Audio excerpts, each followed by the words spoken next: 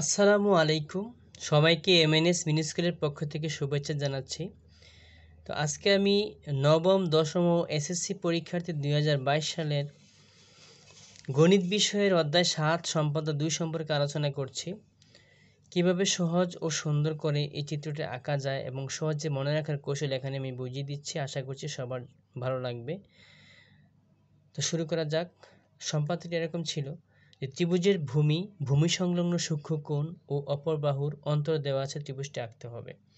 এখানে কয়টি অংশ দেওয়া আছে সবাই খেয়াল করি আমরা। ত্রিভুজের ভূমি একটি অংশ, ভূমি সংলগ্ন সূক্ষ্মকোণ একটি অংশ, মোট দুটি এবং অপর বা অন্তর একটি, মোট তিনটি অংশ দেওয়া আছে আমাদেরকে ত্রিভুজটা আঁকতে হবে। এই তিনটি অংশ দিয়ে আমরা এই তিনটি অংশ প্রথমে আমরা এঁকে নেব।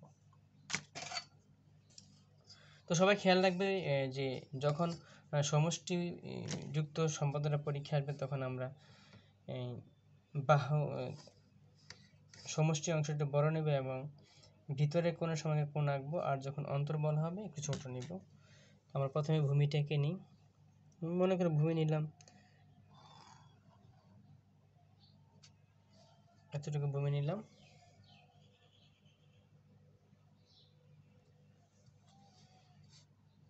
বোল্ড হরফ লাগবে একটু নিলাম ভূমি। ভূমি এ তারপর ভূমি কোণ ফর্টি ফাইভ থার্টি এরকম নিবে। তুমি ইচ্ছে মতো সমস্যা নেই। আমরা একটু আইডিয়া করে নিয়ে নিলাম, ছোট করে।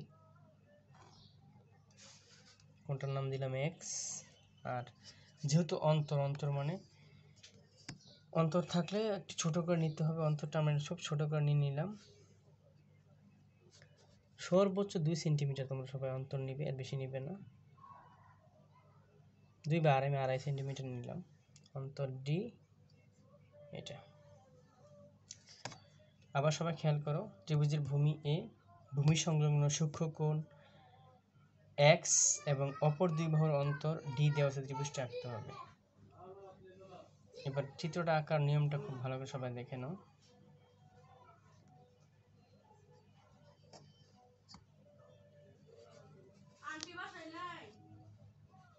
না।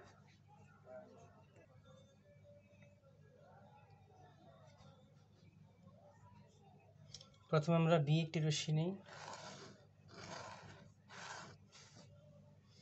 যে কোনো একটি রশ্মি বি নিলাম। ভূমি এ সমান করে আমরা কেটে নিই। এই যে ভূমি এ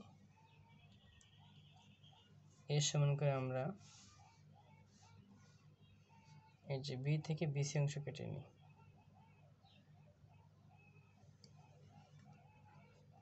এ সমান করে। তারপর আমরা কোন এক্সের সমান করে কাটবো? কোন এক্স যে কোনো মাপে। এই যে কোন, আমরা বিই একটি রশ্মি নিই, এ সমান করে বিসি অংশ কেটে নিই। বি বিন্দুতে কোন এক্সের সমান করে? সরি বি বিন্দুতে কোন এক্সের সমান করে সিবিএফ কোনাকে এই যে মুখের মাপটা নিতে হবে কোন ক্ষেত্রে? এই যে মুখের মাপ।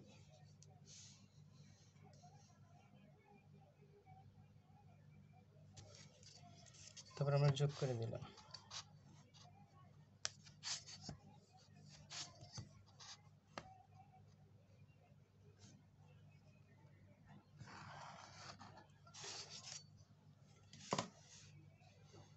আবার সবাই খেয়াল করো। বি একটি রশ্মি নেই। এ সমান করে বিসি অংশ কাটি। বি বিন্দুতে কোন এক্সের সমান করে সিবিএফ কোণ আঁকি। এবার আমাদের বাকি আছে ডি আমরা এই যে ডি এর সমান করে, এই যে ডি এর সমান করে বিএফ থেকে ডি এর সমান করে বিসি অংশ বি অংশ কেটে নিই। এই যে হলো ডি নাম দিলাম এ এবার আমরা এসি যোগ করে নিলাম। যোগ করাটা দেখো এ থেকে সি এসি যোগ করে নিই। এসি অংশ যোগ করি। এবার আমি ওই যে সম্পদ দেখে বলেছিলাম যে যখন অন্তর থাকবে তখন বাহিরের কোণের সমান করে বাইরে কোণ আঁকতে হবে আর সমষ্টি থাকলে ভিতরের কোণের সমান করে ভিতরে কোণ আঁকতে হবে।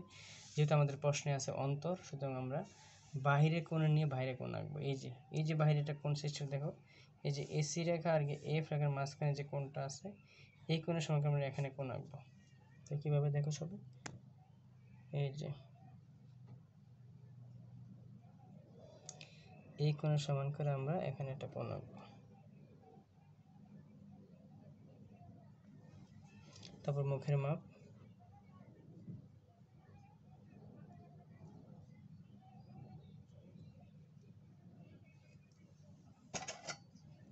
তারপর আমরা যোগ করে নিলাম।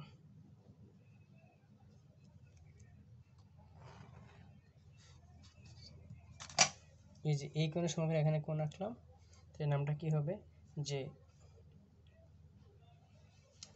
এফ এ সি কোণের সমান করে এ সি ডি কোণ আঁকি আবার খেয়াল করো এফ এ সি কোণের সমান করে এ সি ডি কোণ আঁকি তারপর সিরি যোগ করি।